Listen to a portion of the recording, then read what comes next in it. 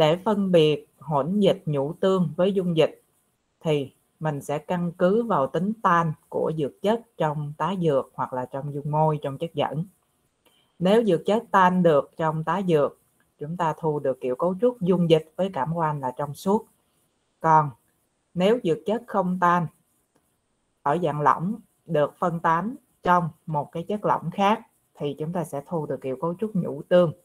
Trường hợp dược chất không tan ở dạng rắn, chúng ta phân tán chất rắn trong môi trường lỏng sẽ thu được hỗn dịch.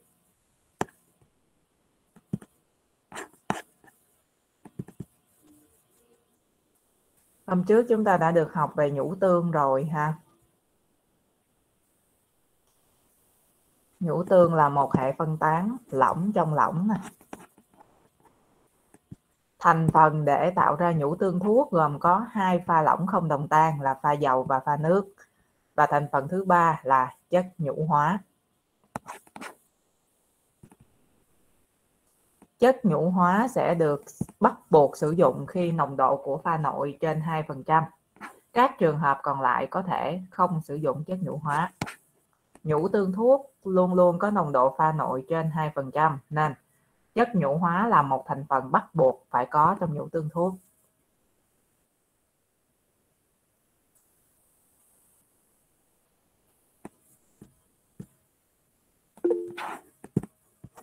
Các yếu tố ảnh hưởng đến sự hình thành và bền vững của nhũ tương.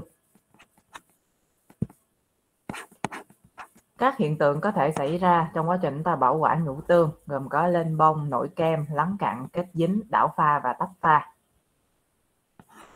Mình xem lại hình ảnh của một nhũ tương tốt. Thể chất đồng nhất trắng đục từ trên xuống dưới. Còn hình ảnh phía bên trái là một nhũ tương đã bị tách pha đủ tương tốt ở giữa nè các giọt của chất lỏng phân tán đồng nhất ở trong môi trường phân tán. Còn nếu những hạt này tiến lại gần nhau thì gọi là lên bông kết bông à, nổi lên trên gọi là nổi kem lắng xuống dưới mà chưa hòa màng. Các trường hợp lên bông nổi kem hoặc là lắng cặn thì đều gọi là những trạng thái có thể phân tán trở lại được. Còn nếu như đã xảy ra tình trạng kết dính hoặc là tách pha đảo pha là nhũ tương xem như bị hư nha. Chúng ta khuấy lắc nó không trở lại trạng thái ban đầu được. Để giữ được tính bền của các hệ phân tán dị thể nói chung, thì bắt buộc là ai ở đâu ở yên đấy ha, hạt mầm ở chỗ nào thì duy trì cái vị trí đó. Nó không có tiến lại gần nhau, nó không có lắng xuống, nó không có nổi lên. Vận tốc tách ra của tiểu phân phân tán về được thể hiện qua hệ thức stock. Để hệ bền thì V này phải càng nhỏ càng tốt. V, tỷ lệ thuận với R, tỷ lệ thuận với hiệu số giữa hai pha, hiệu số tỷ trọng giữa hai pha và tỷ lệ nghịch với độ nhớt của môi trường phân tán. Nên, nhũ tương sẽ bền khi trên là tỷ trọng hai pha phải nhỏ, kích thước tiểu phân nhỏ và độ nhớt môi trường phân tán lớn. Ngoài ra, nồng độ pha phân tán là pha nội đó, càng nhỏ thì hệ sẽ càng bền. Các yếu tố khác về kỹ thuật bào chế cũng sẽ ảnh hưởng đến tính bền của nhũ tương. Rồi nhắc lại những ý đấy để chúng ta dễ dàng phân biệt nhũ tương và hỗn dịch nha. Hôm trước thì chúng ta đang học đến phần điều chế hỗn dịch. Nhắc lại cấu trúc của hỗn dịch thuốc là một thuốc dạng lỏng khi sử dụng. Thành phần gồm các hoạt chất. Bắt buộc phải có hoạt chất. Hoạt chất rắn ở dạng tiểu phân và được phân tán trong chất dẫn. Đó thành phần của hỗn dịch chắc chắn sẽ có hoạt chất và có chất dẫn. Bắt buộc là phải có hai thành phần này. Ngoài ra, còn có thêm một số chất phụ mà chất phụ điển hình nhất chỉ gặp trong hỗn dịch thuốc, đó chính là chất gây thấm.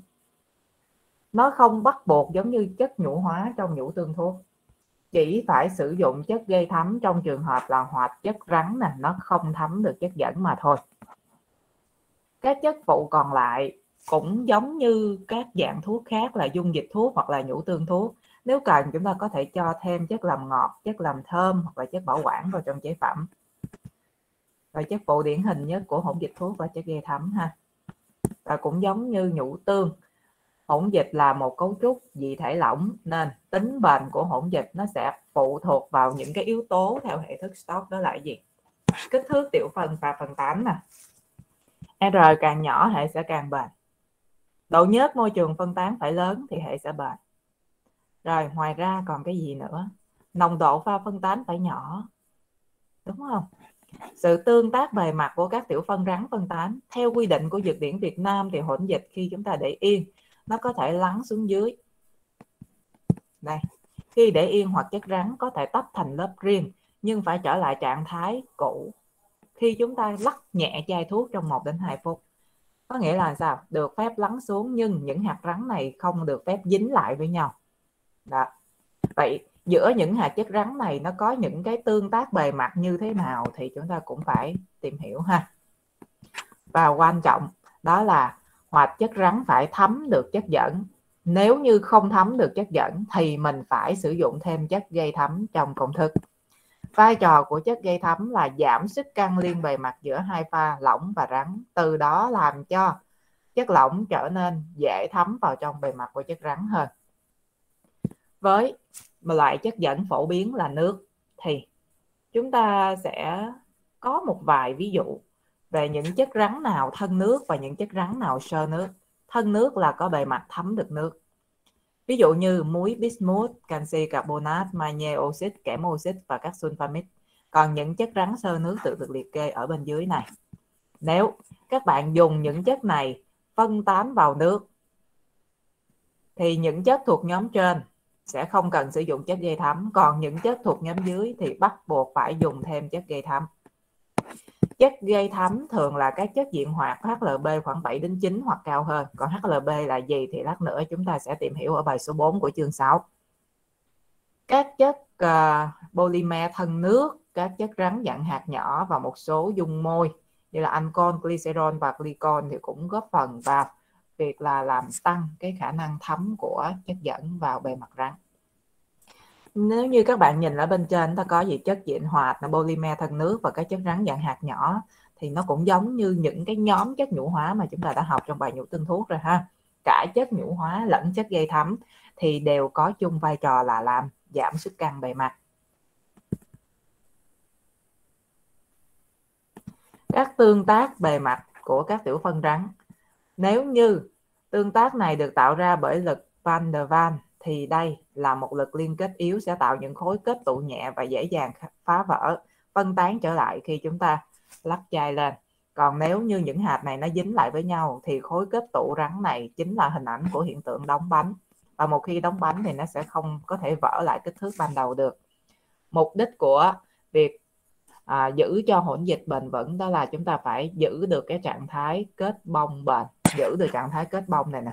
Có nghĩa là khi để lắng thì những cái hạt này nó tiến lại gần nhau, nó lắng xuống nhưng nó không có được dính lại như tình trạng đông bánh. Mà muốn giữ được tình trạng kết bông bền thì lúc nào giữa những cái hạt này cũng phải còn một cái lớp mỏng của chất dẫn ha. Điều chế hỗn dịch, phương pháp à, hôm trước mình học đó, đầu tiên là phân tán cơ học, dùng lực cơ học để phân tán dược chất rắn vào chất dẫn. Với phương pháp phân tán cơ học ở quy mô nhỏ, giai đoạn số 1 nghiền khô để làm cho dược chất rắn trở nên mịn và đạt kích thước quy định của hệ dị thể. Sau khi nghiền khô, đến giai đoạn nghiền ướt là chúng ta cho chất dẫn vào. Chất dẫn, lượng chất dẫn này bằng với lượng hoạt chất rắn. Sau đó dùng chày nghiền hỗn hợp này trong cối để thành một cái khối nhão. Trong khối nhão thì từng hạt dược chất rắn đã được thấm chất dẫn ở bên ngoài bề mặt. Sau đó bạn phân tán khối nhão này vào chất dẫn thì các bạn sẽ thu được hỗn dịch. Tất cả các hệ dị thể đều không có thao tác lọc để làm trong. Đây, hai ví dụ ha. Nếu hoạt chất thân nước thì không cần dùng chất gây thấm.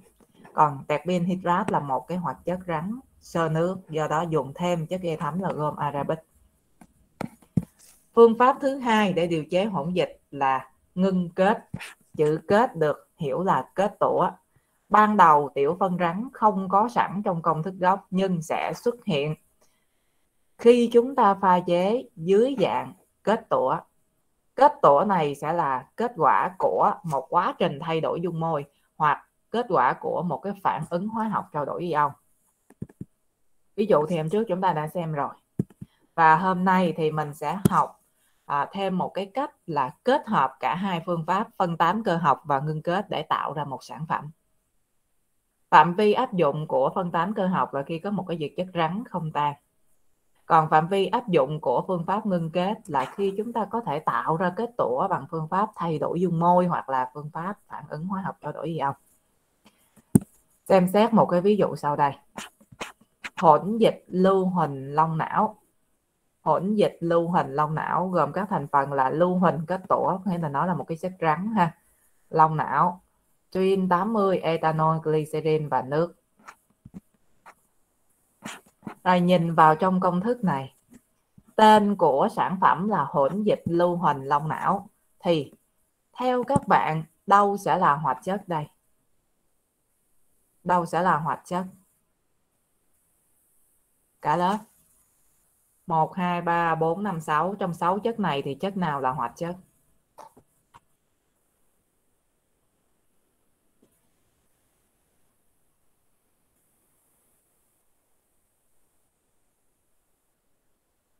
Hỗn dịch lưu huỳnh long não thì hai chất đầu tiên, lưu huỳnh và long não, nó chính là hoạt chất.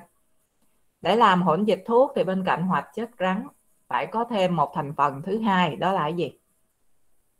Muốn làm hỗn dịch thuốc thì ngoài hoạt chất ra phải có phải có gì các bạn?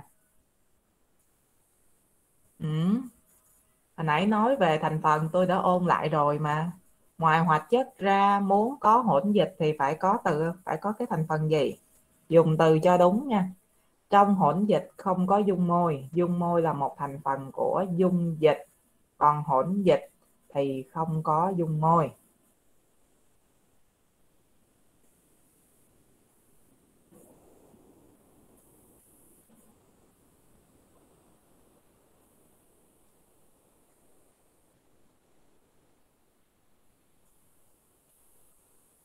Phải có chất dẫn, đúng rồi. Vậy thì trong công thức này đâu sẽ là chất dẫn?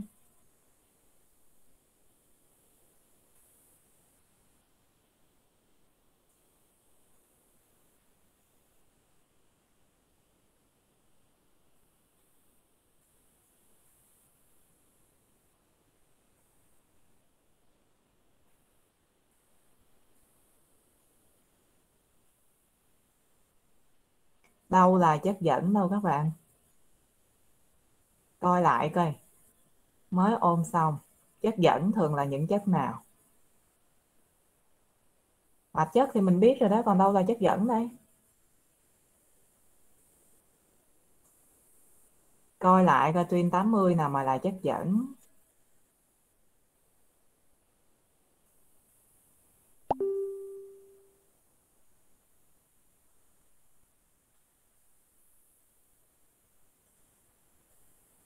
Đâu chất dẫn đâu nè.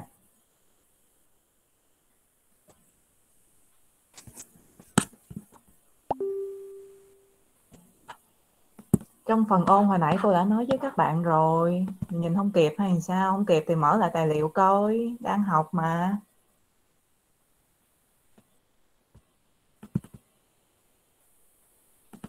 Đấy chất dẫn có thể là là là cái gì coi?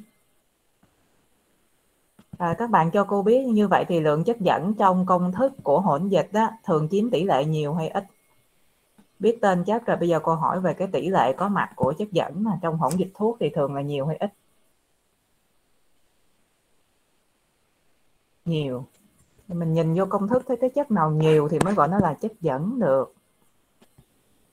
Ethanol ở đây người ta dùng một lượng tối thiểu, một lượng vừa đủ thôi. Với mục đích gì thì lát nữa cô sẽ nói sau rồi gợi ý như vậy đó thì cuối cùng bây giờ khẳng định lại cho cô đâu là chất dẫn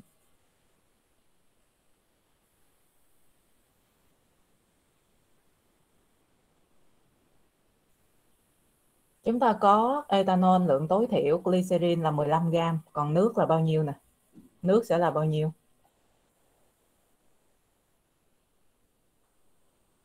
Nước không phải là 75 nước vừa đủ 75 nếu các bạn trừ ra các thành phần ở phía trên mấy chất rắn thì coi như nó không có tham gia vào thể tích nhiều chúng ta không cần tính ha. Vậy thì nước trong trường hợp này um, nó khoảng mấy ml nè. Có glycerin là chất lỏng mà lượng nhiều đáng chú ý thôi mình lấy 75 trừ 15 là giờ còn khoảng nhiều nước? Cô nói khoảng thôi nha. Những chất kia dĩ nhiên nó vẫn tạo thể tích nhưng mà không đáng kể. Vậy nước trong công thức này là khoảng mấy ml khoảng khoảng chừng nhiêu? Cái 75 mà trừ cho 15 là khoảng nhiêu? Là khoảng là khoảng 60 nên cái chất dẫn chính ở trong công thức này á, thì nó vẫn là là nước. Dĩ nhiên là khi glycerin đó chúng ta trộn với nước thì nó có tan được không các bạn? Glycerin có tan trong nước không?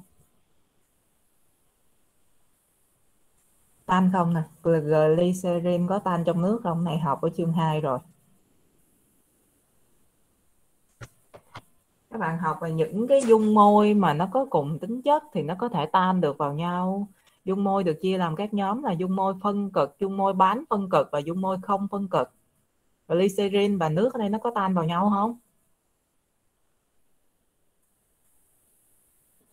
Có có tan được. Vậy thì khi mà glycerin tan vào trong nước á, nó sẽ làm tăng tăng cái gì? Tăng độ nhớt của của chất dẫn. À, như vậy thì nó cũng sẽ giúp cho hỗn dịch chúng ta bền hơn.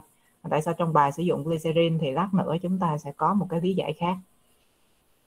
Rồi tìm được chất dẫn ha. Nói chung là hỗn hợp glycerin và nước đi. Còn uh, Twin 80 nó đóng vai trò gì? Suy nghĩ thử xem. Với chất dẫn là nước thì bắt buộc hoạt chất của mình phải thấm được nước. Mà lưu huỳnh và long não thì hai chất này có bề mặt. Thấm được nước hay không? Nãy mình học nó thuộc nhóm thân nước hay sơ nước vậy ha lưu huỳnh và long não là thân nước hay sơ nước? Đó là chất. Sơ nước hay thân nước? Sơ nước là không thấm được nước nên bắt buộc chúng ta phải dùng thêm chất gây thấm là truyền 80 đúng rồi nếu như sử dụng phương pháp phân tán cơ học thì bước đầu tiên sẽ là nghiền khô, có nghĩa là chúng ta phải nghiền mịn những cái chất rắn này.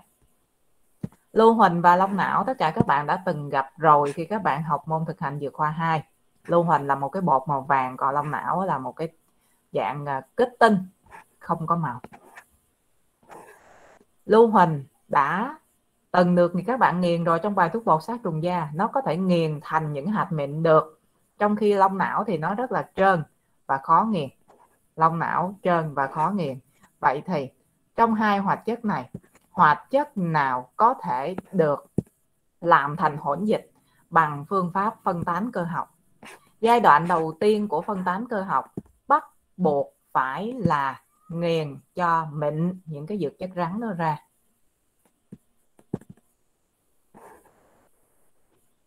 Vậy các bạn cho cô biết hai hoạt chất lưu huỳnh và long não thì hoạt chất nào có thể sử dụng phương pháp phân tán cơ học để điều chế thành hỗn dịch?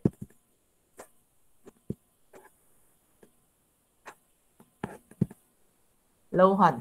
Còn long não nó trơn, chúng ta không thể nghiền mịn được nên phương pháp phân tán cơ học không áp dụng được cho long não. Rồi bây giờ thì mình sẽ chọn một phương pháp khác cho lông não sau ha. Hiện tại phải làm cho lưu huỳnh thành hỗn dịch bằng phương pháp phân tán cơ học. Chúng ta có chất dẫn là nước, hoạt chất là lưu huỳnh và thêm chất gây thấm là trin 80. Những nguyên liệu nào được sử dụng để làm hỗn dịch lưu huỳnh thì cô sẽ tô màu đỏ lên. Làm theo phân tán cơ học nha. Vậy bước số 1 của chúng ta sẽ là làm gì? Cho lưu huỳnh vào cối và nghiền mịn. Đó là giai đoạn gì? Nghiền khô hay nghiền ướt? Cho lưu huỳnh vào cối và nghiền mịn. Đó là giai đoạn nghiền khô hay là nghiền ướt? Đó là giai đoạn nghiền khô. Sau khi nghiền khô, lưu huỳnh mịn rồi thì chúng ta sẽ cho cái gì vào tiếp theo?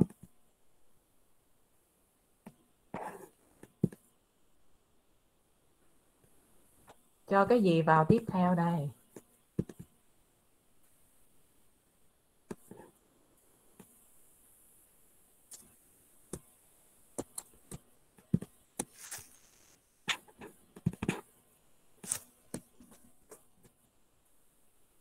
Cho nước vào thì lượng nước cho vào này nó có thấm được chưa? Chưa có thấm được nên trước khi cho nước phải cho chất gây thấm là tuyên 80 vào sau khi cho tuyên 80 thì bắt đầu cho cái gì? Sau khi cho tuyên 80 thì các bạn sẽ cho Ủa, tự nhiên ethanol liên quan gì đây? Tôi có tô ethanol không? Cho cho nước lượng nước bằng với lượng chất rắn. Vậy thì bây giờ mình sẽ dùng mấy ml nước đây? Lượng nước bằng với lượng hoạt chất rắn thì các bạn sẽ cho ở bước này khoảng bao nhiêu ml nước? 3 ml đúng rồi. Mình sẽ cho 3 ml nước vào. Sau đó thì các bạn sẽ dùng cối và chày nghiền thật kỹ để tạo thành một cái khối nhão. Đây nghiền kỹ tạo thành một cái khối nhão. Đây, ban đầu là lưu huỳnh nè. Đó. Nó vón cục nhiều như thế này nè các bạn phải nghiền thì mới mịn ra được. Còn đây là tuyên 80 hay chúng ta cân sau đó thì mình đổ tuyên vào trong cối, chúng ta cho khoảng lượng nước bằng với lượng lưu huỳnh và mình nghiền kỹ thành một cái khối nhão giống như vậy. Bước tiếp theo, phân tán khối nhão vào trong chất dẫn. Thì chúng ta dự trù hồi nãy mình dùng khoảng bao nhiêu nước đó ha?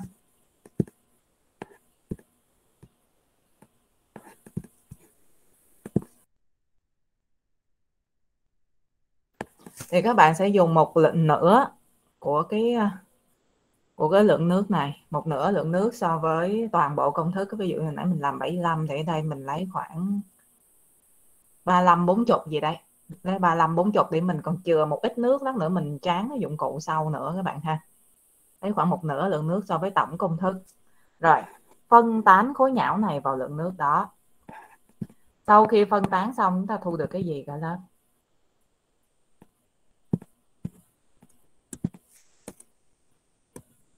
Phân tán xong chúng ta thu được cái gì? Ừ, coi coi phân tán xong này. có khối nhão nè giờ phân tán từ từ với một nửa lượng nước so với công thức. Và sau khi phân tán xong thì các bạn sẽ thu được hỗn dịch lưu huỳnh như thế này. Đó.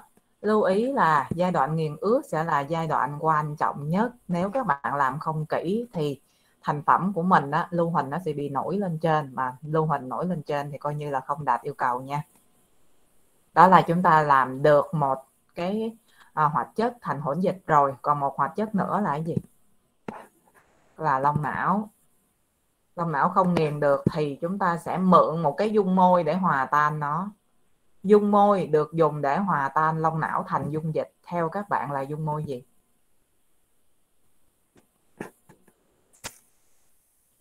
Lông não không tan trong nước lông não không tan trong glycerin. Nhưng mà lông não tan được trong ethanol, đúng rồi. Sau khi cân xong thì lông não sẽ được cho vào trong một cái cốc.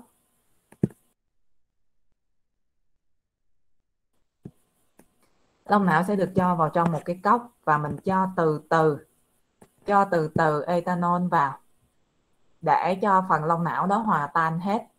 Lượng ethanol dùng càng ít càng tốt. Chúng ta mượn nó để làm một cái phương tiện hòa tan lông não thôi ha sau khi hòa tan xong thì chúng ta chuyển cái dung dịch cồn lông não này vào glycerin. Và vì lông não không tan được trong glycerin nên nó sẽ tủa.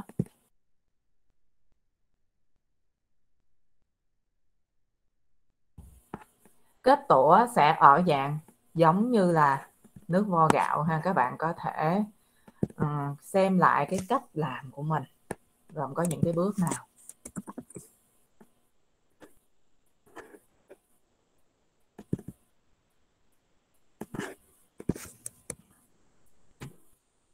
Đây là lông não sau khi cân này các bạn cho vô cái cốc ha. Dùng cồn để hòa tan thành một cái dung dịch trong suốt ở phía trên. Rồi mình dẫn từ từ nó vào cái cốc chứa glycerin ở bên dưới, rồi dẫn vô khuấy đều lên. Sau đó mình sẽ có được hình ảnh giống như thế này. Lông não kết tủa lại trong glycerin. Những chất rắn trong một cái chất lỏng thì mình cũng gọi nó là hỗn dịch lông não. Và muốn có hỗn dịch lưu hình lông não thì các bạn chỉ việc là trộn hai cái hai cái hỗn dịch này lại với nhau, cho hỗn dịch lông não từ trong cốc vào hỗn dịch lưu huỳnh đang chứa trong cối. Chúng ta dùng lượng nước còn lại để tráng dụng cụ và bổ sung thể tích vừa đủ 75 ml đó là một ví dụ về việc một công thức chúng ta có thể áp dụng vừa phân tán cơ học và vừa ngưng kết. Vậy thì chúng ta có những phương pháp nào để điều chế hỗn dịch lỏng hoàn chỉnh này có phân tán cơ học, có ngưng kết hoặc là kết hợp giữa hai phương pháp này còn để điều chế hỗn dịch ở dạng chưa hoàn chỉnh là bột pha hỗn dịch đó hoặc là cốm pha hỗn dịch. Thì chúng ta sang cái phần tiếp theo cách điều chế bột pha hỗn, dịch hoặc là cốm pha hỗn dịch. Phương pháp này được áp dụng để làm ra hỗn dịch với các hoạt chất không bền vững trong chất dẫn. Với các chất dẫn là nước nếu các bạn cho hoạt chất tiếp xúc với chất dẫn trong một khoảng thời gian dài. Mình làm thuốc ra cho nó lưu hành ngoài thị trường, thì thời gian lưu hành thường là tính bằng năm, đúng không? Mà hoạt chất dễ bị thủy phân, tiếp xúc với nước nó bị hư thì sản phẩm mình nó không đạt nữa. Vì vậy, đối với những dạng này thì người ta sẽ tách hẳn cái phần chất dẫn ra. Không có chất dẫn trong cái chế phẩm lên gậy nữa, mà chỉ có những cái thành phần rắn thôi khi nào người sử dụng họ mua về thì tự họ sẽ thêm chất dẫn, tự họ thêm nước vào và lắc cái chai lên để tạo thành hỗn dịch trước khi uống. Như vậy thì thành phần của bột pha hỗn dịch hoặc là cốm pha hỗn dịch, nó sẽ thiếu đi cái gì so với thành phần của hỗn dịch hoàn chỉnh lúc nãy các bạn? Nãy mình học thành phần của hỗn dịch hoàn chỉnh thì có hoạt chất rắn là có chất dẫn và có các loại chất phụ còn bây giờ, bột pha hỗn dịch hoặc cốm pha hỗn dịch thì nó sẽ thiếu đi thành phần gì?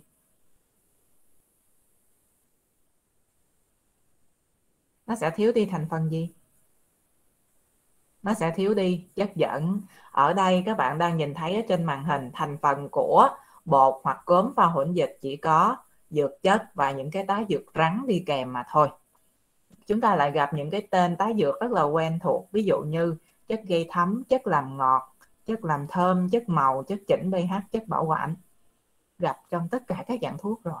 Nhưng có một cái loại chất phụ, một cái loại tái dược đến bây giờ chúng ta mới đề cập. Trong hỗn dịch dạng lỏng mình không thấy, nhưng mà ở đây thấy đó là loại chất phụ nào. Hồi nãy mình à, nhắc lại thành phần của tái, của hỗn dịch dạng lỏng mình không thấy. Bây giờ mới thấy đó chính là chất gây gây treo và các bạn ghi chú ha ai có sách thì các bạn thấy mở sách ra trong sách có ghi sẵn đó. Chất gây treo có vai trò là giúp cho hoạt chất phân tán thành hỗn dịch chỉ bằng cách là lắc.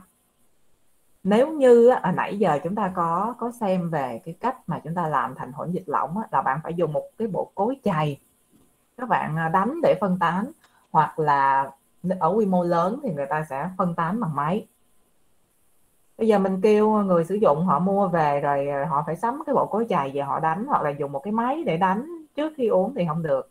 Nên trong thành phần của bột hoặc cốm pha hỗn dịch chúng ta sẽ cho thêm một cái thành phần chất phụ được gọi là chất gây treo với vai trò là giúp cho dược chất rắn phân tán dễ dàng để tạo hỗn dịch. Chỉ đơn giản với một thao tác là lắc. À, đổ nước vô rồi lắc chai trước khi dùng ha à, những chất gây treo chúng ta có thể dùng ví dụ như gì? Các dẫn chất của cellulo như là natri carboxy methyl cellulo. Mình cũng có thể dùng natri alginate hoặc là các loại gom như là gom xanthan tham khảo thêm trong sách nha. Xem qua một vài ví dụ. Đây là công thức của bột pha hỗn dịch erythromycin stearate. nguyên liệu gồm erythromycin stearate 6,94 gram bột đường trắng 60 g natri alginate 1,5 trin 0,12 natri benzoate 0,2 thì câu hỏi là chúng ta hãy cho biết vai trò của các thành phần trong công thức này. Vai trò thì mình coi ngược lại đây. Dược chất đâu? Thành phần đầu tiên là dược chất đây erythromycin stearate. rồi thứ hai tá dược thì phải có cái tái dược điển hình của bột hoặc cốm và hỗn dịch là chất gây treo. Thì chất gây treo nó chính là natri alginate Trin 80 đóng vai trò gì còn nhớ không? Erythromycin stearat có muối stearat thì thường nó không có thấm nước. Muốn nó thấm được nước phân tán được thành hỗn dịch thì mình phải dùng thêm chất gây thấm. Đúng rồi. Natri benzoate đóng vai trò là một chất bảo quản. Còn bột đường trắng có nghĩa là đường đường mà mình pha nước cam đó ha xay mịn ra thành bột thì người ta cho vào đây để làm gì? Đối với thuốc bột sang chương số 9 các bạn học đó thì một thành phần không thể nào mà thiếu đó, đó là tá dược độn. Tá dược độn thường chiếm một cái lượng lớn trong công thức. Ở đây chúng ta nhìn vô tỷ lệ thì thấy bột đường trắng chiếm tỷ lệ rất là cao. Thì trong thuốc bột nó sẽ đóng vai trò là một tá dược độn. Nhưng khi các bạn cho nước vô và chúng ta lắc đều cái chai này lên thì đường nó sẽ tan vào trong nước và làm cho nước đó nó có vị ngọt và có độ nhớt cao. Vị ngọt thích hợp với những chế phẩm dùng uống, còn độ nhớt cao góp phần tăng độ nhớt của pha ngoại và giúp cho hỗn dịch trở nên bền vững hơn. Một mình bột đường vừa đóng là tái dược độn, vừa là chất tạo ngọt, vừa là chất tăng độ nhớt cho pha ngoại ha. Một ví dụ nữa là công thức của bột pha hỗn dịch ampicillin trihydrat gồm có các nguyên liệu là ampicillin trihydrat, đường, natri anzinat, natri benzoat, natri citrat, axit citric và trin 80. Thì cũng tương tự như lúc nãy chúng ta cũng phân tích được vai trò của ampicillin trihydrat là hoạt chất, đường là cũng ba vai trò ha, tá dược độn nè, làm ngọt nè, rồi tạo độ nhớt nè. Natri anzinat là tá dược gây treo, à, natri benzoate là chất bảo quản axit citric natri citrat là hai chất đệm. Thì ampicillin nó bền trong cái môi trường hơi hơi axit đấy. À, nên mình sẽ tạo ra cái hệ đệm để duy trì cái cái tính bền đó của ampicillin ha. À, trin 80 à, thì đóng vai trò là chất gây thấm rồi sau khi mà chúng ta đã pha chế xong dù hỗn dịch đó ở trạng thái lỏng hỗn dịch hoàn chỉnh là trạng thái lỏng hay là hỗn dịch chưa hoàn chỉnh ở trạng thái rắn thì mình đều phải đóng gói. Đối với hỗn dịch hoàn chỉnh, chế phẩm đa liều sẽ được đóng vào chai có dung tích lớn hơn thể tích thuốc và trên nhãn có dòng chữ lắc trước khi dùng. Muốn lắc chai được thì phải đóng chai còn một cái khoảng trống ở phía trên. Chai phải có dung tích lớn hơn so với thể tích thực của thuốc ở bên trong ha. Và dược điển Việt Nam có quy định để yên hoặc chất được phép lắng xuống nhưng mà nếu mình để lắng vậy mình chia liều thì ở trên nó toàn là chất dẫn không hoặc chất nó lắng xuống hết là đâu có được. Nên trước khi mà chúng ta rót ra để chia liều thì phải lắc trước khi dùng. Cái dòng chữ này phải được ghi ở trên nhãn cho nổi bật lên ha. Còn à, dạng bột hoặc cốm để pha hỗn dịch đa liều thì sẽ được đóng vào chai. Trên chai có vạch chỉ dẫn mực nước mà chúng ta cần đạt đến. Đó kêu đổ nước đến cái vạch đó đó thì mình đổ đến đúng cái vạch đó lắc đều cái chai lên trên nhãn chai sẽ có ghi dòng chữ là cốm pha hỗn dịch uống hoặc là bột pha hỗn dịch uống. Các chế phẩm được bảo quản trong bao bì kính để nơi mát, tránh ánh sáng và tránh các sự thay đổi về nhiệt độ. Phần kiểm soát chất lượng của hỗn dịch, các bạn có thể dùng kính hiển vi để chúng ta quan sát hình dạng và kích thước của các tiểu phân cũng như sự kết tụ của các tiểu phân rắn mình lấy một cái giọt hỗn dịch cho lên lam kính soi với kính hiển vi xem là à, cái hình dạng của các tiểu phân nó đang cụ thể à, chủ yếu nó là hình gì rồi kích thước khoảng bao nhiêu và các tiểu phân đó nó đang có xu hướng kết tụ lại hay nó nằm riêng rẽ với nhau. Thì tất cả những cái này các bạn có thể quan sát được ở trên kính hiển vi ha. À, các bạn cũng có thể dùng máy đo độ đột để mình xác định cái cái mật độ cũng như là à, cái à, kích thước tiểu phân của những cái tiểu phân trong hỗn dịch. Tính bền của hỗn dịch sẽ được thử nghiệm thông qua thử nghiệm tốc độ lắng bằng ống đồng các bạn cho hỗn dịch đã pha chế vào những cái ống đồng có dung tích 100 ml chẳng hạn. Rồi mình à, theo dõi nó theo thời gian. Ví dụ như ban đầu mình có 5 công thức chuẩn bị phát triển thành sản phẩm không biết là công thức nào à, chậm lắng nhất. Mình mình muốn à, điều chế thì cái nào chậm lắng nhất mình lấy đúng không? Thì các bạn có thể cho vào ống đồng và chúng ta đo cái cái mức độ lắng của cái lớp chất rắn đó. Cái nào mà lắng chậm nhất thì sẽ được chọn ha. Còn à, nếu như mình thấy ồ chờ hoài mà cả năm mẫu này nó đều không lắng thì bạn có thể thúc đẩy quá trình lắng đó bằng cách sử dụng chu trình nhiệt. Chu trình nhiệt là mình sẽ tạo ra những cái điều kiện nhiệt độ khắc nghiệt nhằm thúc đẩy sản phẩm nó mau hư hơn. Từ đó chúng ta dễ dàng chọn được công thức ưng ý hoặc là đây cũng là một cái biện pháp để người ta nghiên cứu độ ổn định và ra được tuổi thọ của thuốc chu trình nhiệt là sao? Thay vì bảo quản thuốc ở nhiệt độ thường thì mình sẽ à, làm à, ba cái giai đoạn trong một chu kỳ là vừa nhiệt độ thường vừa nhiệt độ 4 độ C vừa nhiệt độ 40 độ C. Mỗi cái điều kiện đó lần lượt trải qua 24 giờ. Và nếu hệ thống của mình nó, nó bền qua ít nhất 6 chu kỳ một chu kỳ có 3 giai đoạn ha bền ít nhất là 6 chu kỳ thì mới được xem là một sản phẩm bền các chỉ tiêu khác của hỗn dịch thuốc cũng được kiểm tra, ví dụ như độ nhớt. Hôm trước mình nói là độ nhớt tăng đó, thì sẽ tránh được cái việc xa lắng, nhưng mà nếu nhớt quá thì sẽ khó cho việc chia liệu ha. Sản phẩm uống không yêu cầu vô khuẩn, nhưng phải đạt giới hạn về vi sinh vật. Bây giờ thì mình sẽ có một cái so sánh nho nhỏ về ba kiểu cấu trúc cơ bản của các dạng thuốc lỏng. Dung dịch là một hệ đồng thể còn nhũ tương và hỗn dịch là các hệ phân tán dị thể. Nhũ tương là hệ dị thể lỏng trong lỏng và hỗn dịch là hệ phân tán rắn trong lỏng. Các loại chất phụ điển hình của từng kiểu cấu trúc. Loại chất phụ điển hình của dung dịch đó là chất làm tăng độ tan. Và chỉ có dung dịch mới yêu cầu hoạt chất tan trong dung môi nên mới cần chất làm tăng độ tan. Mà cũng không phải dung dịch nào cũng cần cái loại chất phụ này. Ví dụ như các bạn pha nước muối sinh lý chúng ta, hòa tan 0,9 gram natri chloride vào với nước vừa đủ 100 ml điều này làm rất là dễ dàng không cần phải thêm cái chất gì để làm tăng độ tan cả. Chỉ khi nào hoạt chất khó tan thì bạn mới cần sử dụng đến cái loại chất phụ này. Nên ở đây khi tóm tắt chúng ta cho nó vào trong cái dấu ngoặc vuông có nghĩa là có thể dùng khi cần chứ không có bắt buộc. Nhưng chất nhũ hóa thì là một thành phần bắt buộc phải có trong nhũ tương thuốc. Chất gây thấm thì nó cũng là một cái thành phần không bắt buộc dùng trong tất cả các công thức hỗn dịch. Khi nào hoạt chất không thấm chất dẫn thì mới cần dùng, nhớ không? Phương pháp điều chế dung dịch là hòa tan, và sau khi hòa tan sẽ có giai đoạn lọc để làm trong. Còn hai dạng còn lại thì không được lọc, và nó sẽ được điều chế bằng những cái phương pháp tương ứng với từng cái kiểu cấu trúc.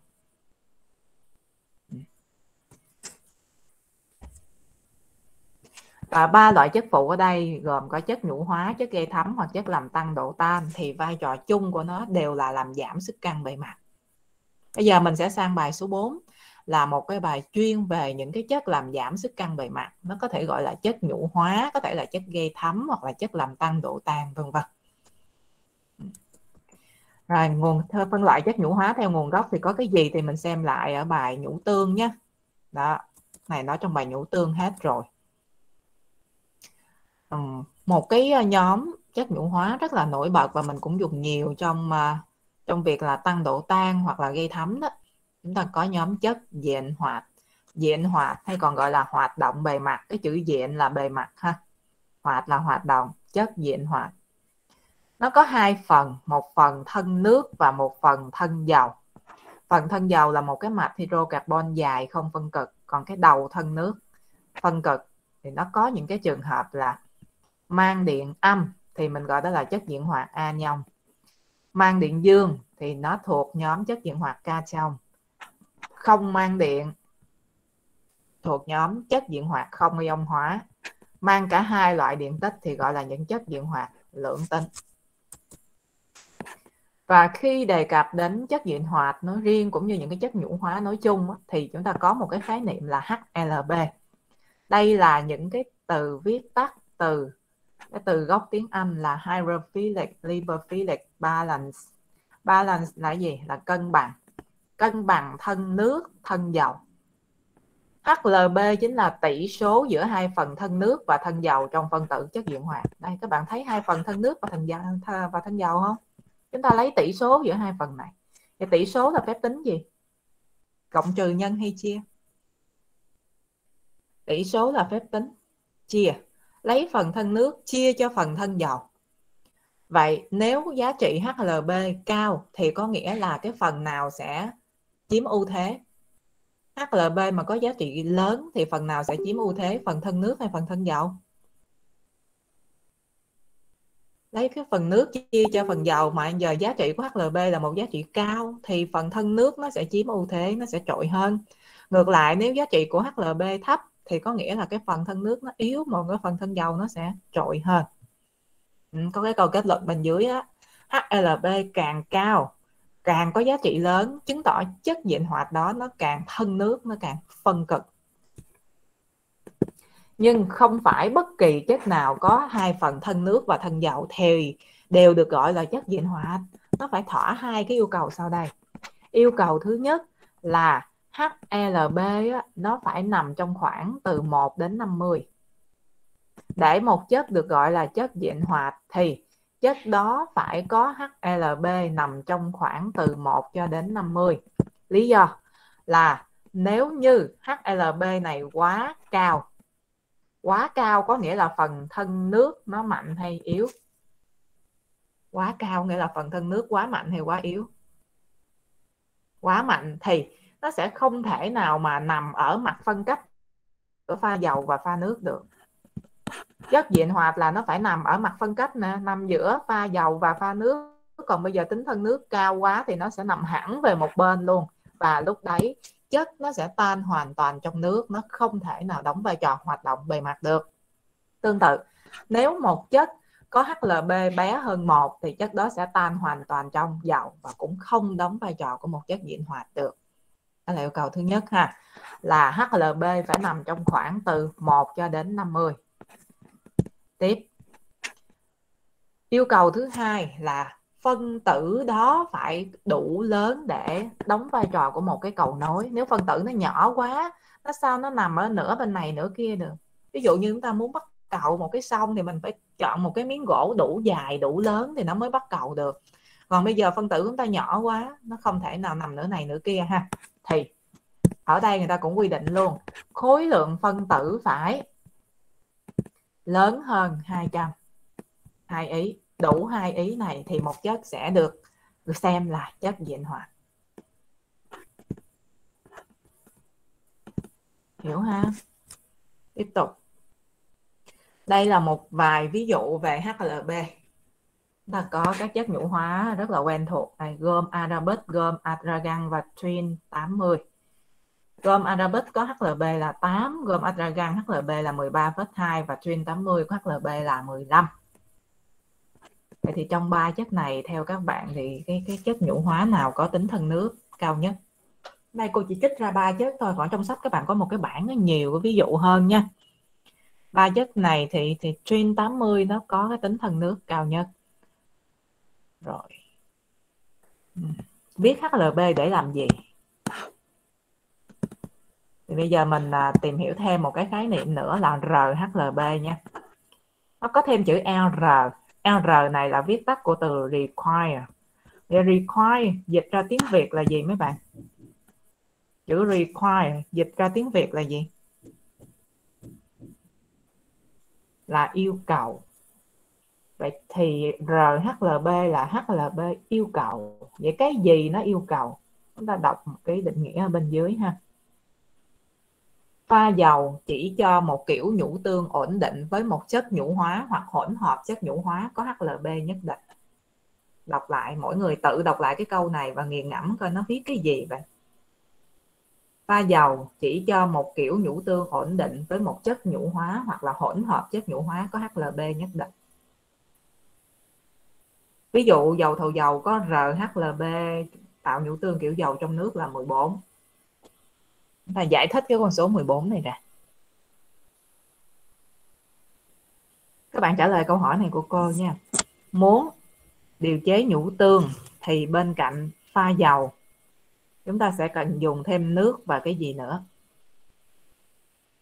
Muốn điều chế nhũ tương thì mình phải có pha dầu, phải có pha nước và bắt buộc phải dùng thêm chất nhũ hóa. Nước thì nó chỉ có một loại loại nước thôi. Chúng ta sử dụng nước cất để pha chế. Còn chất nhũ hóa thì có rất rất là nhiều ví dụ về chất nhũ hóa. Vậy làm sao mình biết lựa cái chất nào là phù hợp nhất với dầu của mình?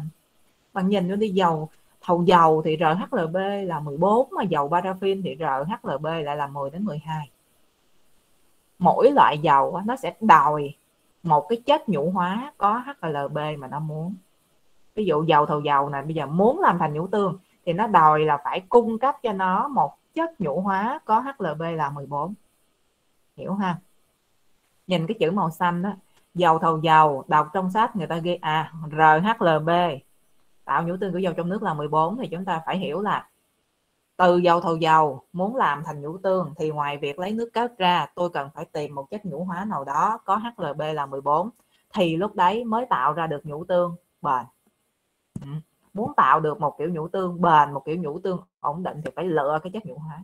Có nghĩa là đây là một cái yêu sách, một cái đòi hỏi của pha dầu nó đặt ra để chúng ta lựa chọn chất nhũ hóa. Rồi các bạn thử lựa trong ba chất này coi, chất nào có thể dùng làm chất nhũ hóa để làm ra nhũ tương dầu thầu dầu được đấy có dầu thầu dầu, có nước rồi, các bạn chọn cho cô một cái chất nhũ hóa nào mà mình cảm thấy là sẽ tạo ra được nhũ tương bền nhất. RHLB của dầu thầu dầu là 14 đó. nó đòi một cái chất nhũ hóa có HLB là 14 vậy nếu trong kho chúng ta còn ba chất như ở trên màn hình thì theo các bạn chúng ta sẽ chọn chất nào đây? Các bạn có thể chọn gom adragan. Vì nó có HLB là 13,2 hoặc các bạn cũng có thể chọn Twin 80 có HLB là 15 cũng gần đấy còn lựa chọn nào là không nên? Dùng cái gì là không nên? Gồm Arabic, tại vì HLB của nó là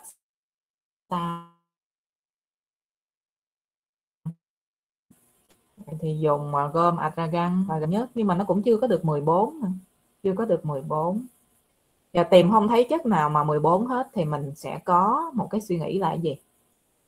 Khi các bạn trộn một chất nhũ hóa này với một chất nhũ hóa khác thì hỗn hợp chất nhũ hóa sẽ có HLB nằm ở giữa hai giá trị. Ví dụ à, mình lục ở trong kho mình không thấy gom aragan chỉ thấy gom arabic và twin 80 thôi. Thì từ hai chất này mình hoàn toàn có thể tạo ra được một hỗn hợp có HLB nằm từ 8 cho đến 15 có nghĩa là tạo ra một hỗn hợp chất nhũ hóa có HLB 14 được không các bạn? Trộn gom Arabic với loại tuyên 80 có tạo ra được một hỗn hợp có chứ có HLB là 14 được không?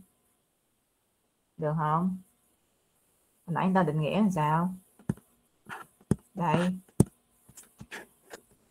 Pha dầu chỉ cho một kiểu nhũ tương ổn định với một chất nhũ hóa hoặc là một gì? Hỗn hợp chất nhũ hóa. Đó nếu tìm không có chất nào phù hợp thì bạn sẽ à, có thể trộn một chất đó bạn có thể trộn một chất có HLB cao với một chất có HLB thấp hơn để mình ra được cái hỗn hợp chất nhũ hóa này ha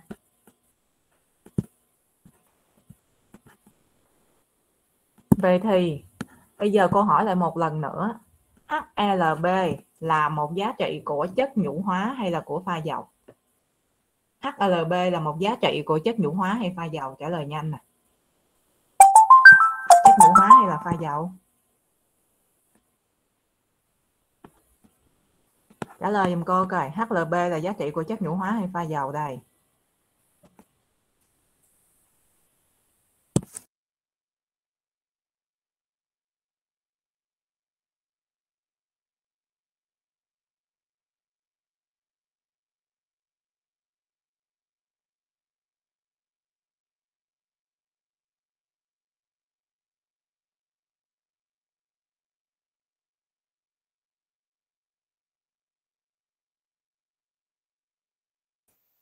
Còn RHLB là giá trị của chất nhũ hóa hay là pha dầu?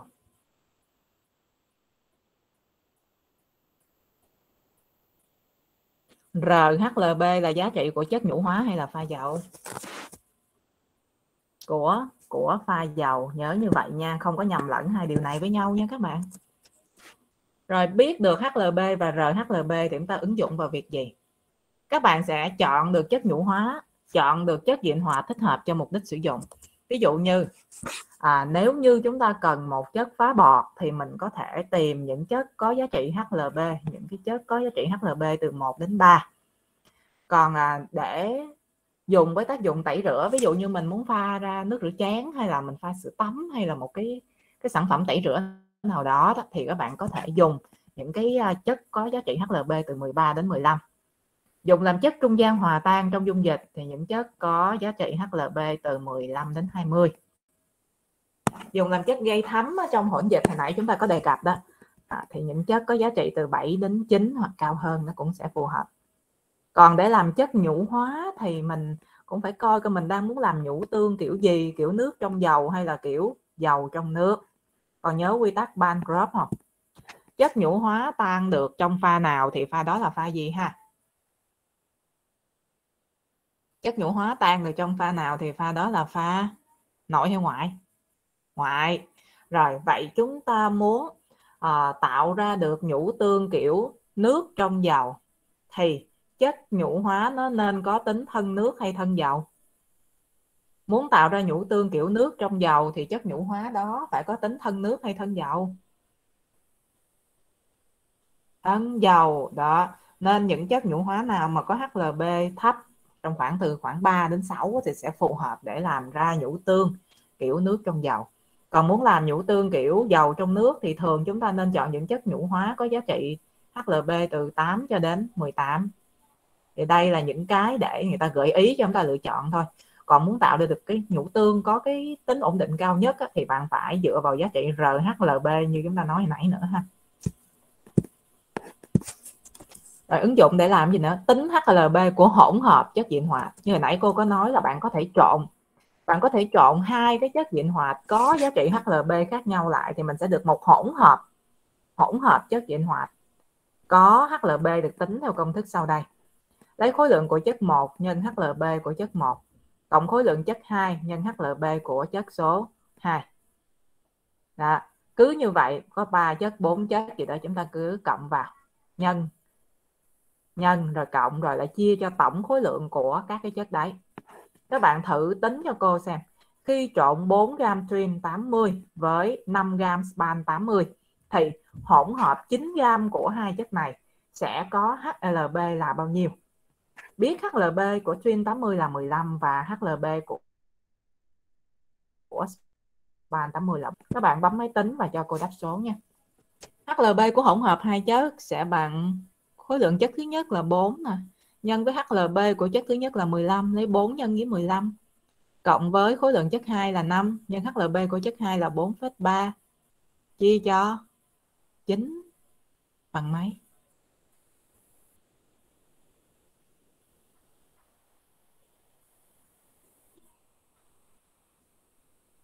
Ừ, 9 phẩy 06 đúng rồi chúng ta sẽ được hỗn hợp chất diện hoạt có HLB là 9,06 công thức này các bạn thuộc nhé để chúng ta làm bài tập đó. Rồi ứng dụng nữa là gì? Tính ra HLB của một chất nhũ hóa mới. Ví dụ ở đây à, mình cần điều chế nhũ tương dầu trong nước từ dầu thầu dầu mà hồi nãy chúng ta có nói dầu thầu dầu có RHLB là 14 có RHLB là 14 bây giờ các bạn sẽ chọn hai chất nhũ hóa một cái là miri 45 HLB 11,1 và cái chất nhũ hóa Z không biết có HLB là bao nhiêu chỉ biết là à, làm cái nhũ tương đó người ta đã làm rồi nó bền. Kêu lấy 6 gam miri 45 trộn với lại 8 gam Z mà mình không biết Z là cái chất nào hết á. Các bạn có thể tính ra được giá trị HLB của Z được hay không?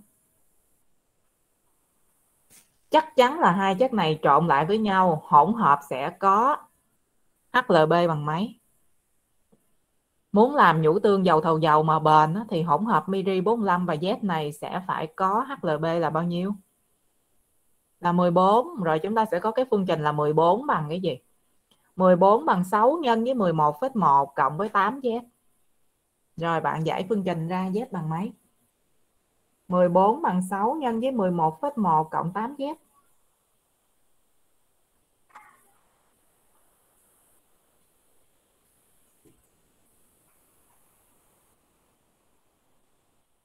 Z bằng mấy nè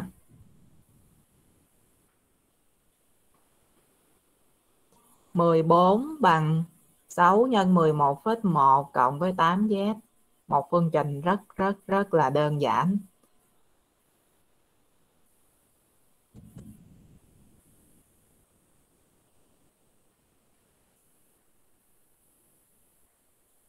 Chưa ai tính ra hết hả?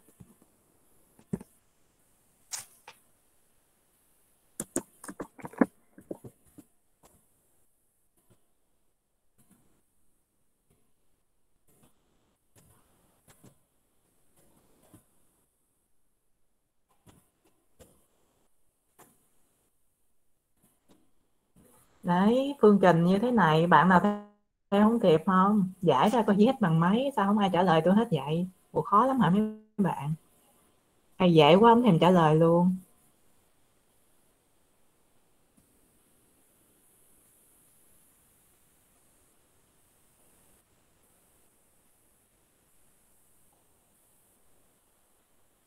Mà sao giải ra số âm rồi ta HLB mà sao là số âm được? Giải phương trình, mà sao ra số âm ha?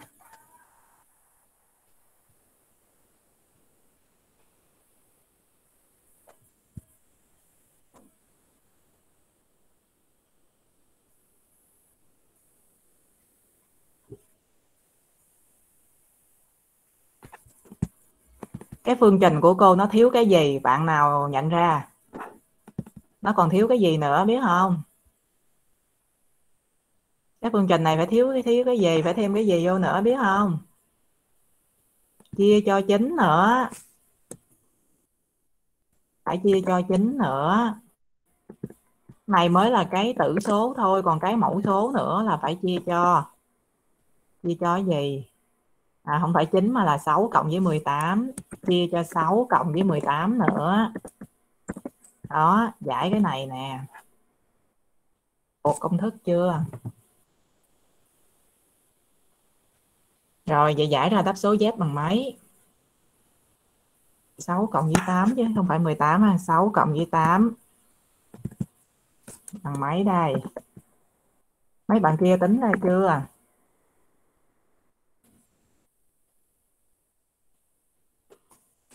Thì thấy rõ nè. 11 với 1 mà giờ muốn nhảy lên 14 thì phải thêm một chất có HLB cao hơn vô. Nên chúng ta phải nhìn kỹ ha thế cho kỹ tính ra. Vậy thì đó là ứng dụng của việc sử dụng các giá trị HLB để tính ra HLB của một cái chất nhũ hóa mới. Ngoài ra các bạn cũng có thể áp dụng công thức này để tính tỷ lệ từng chất diện hoạt trong hỗn hợp. Ở đây chúng ta có pha dầu là dầu paraffin. Dầu paraffin có HL có RHLB là bao nhiêu mới học hồi nãy? Nhắc lại cho cô cái khoảng đó coi. Dầu paraffin có RHLB là cái khoảng từ nhiêu đến nhiêu? Từ 10 cho đến 12 vậy bây giờ mình lấy cái giá trị 10,5 trong khoảng này. Chọn RHLB của dầu paraffin là 10,5 ha. Để làm thành nhũ tương thì chúng ta cần thêm nước và chất nhũ hóa. Biết lượng chất nhũ hóa dùng là 15 gram và đó là hỗn hợp của span 80 với trin 80 chưa biết mỗi chất là bao nhiêu nhưng với các dữ kiện đang có thì các bạn hoàn toàn có thể giải được phương trình này. Gọi M1, M2 lần lượt là khối lượng của span 80 và trin 80 chúng ta có phương trình số 1 là M1 cộng M2 bằng 15 đây cái dòng số 2 tổng khối lượng của span và trin là 15 gram thì mình có M1 cộng 12 bằng 15 để hỗn hợp này tạo ra được HLB bằng với RHLB của dầu paraffin thì HLB hỗn hợp sẽ là 10,5 10,5 bằng 4,3 nhân M1 cộng với 15 nhân M2 tất cả chia cho M1 cộng M2 là 15 giải hệ hai phương trình và cho cô biết giá trị của M1 và M2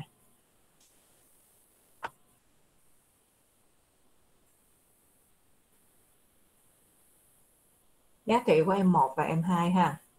Lấy cái máy tính, giải hệ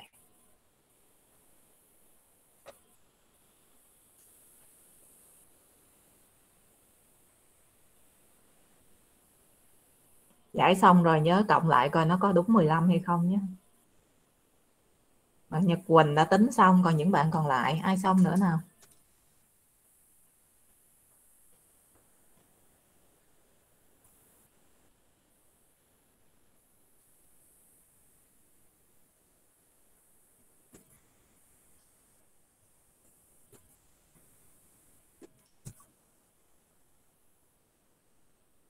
Rồi, như vậy các bạn còn lại chắc mình cũng tính được ha. Có sẵn à, phương trình rồi, giờ mình bấm máy để mình giải hệ thôi. Như vậy là với việc học xong bài số 4 của chương 6 thì chúng ta đã hoàn thành toàn bộ nội dung của chương 6 là chương hệ phân tán dị thể lỏng. Với các bài gồm, hệ phân tán là gì nè, bài số 1 là bài 2 là nhũ tương, bài 3 là hỗn dịch thuốc, bài số 4 là học riêng về chất diện hoạt là kết thúc chương 6 ở đây ha. À, tiếp theo thì mình sẽ qua chương 7 thuốc mỡ.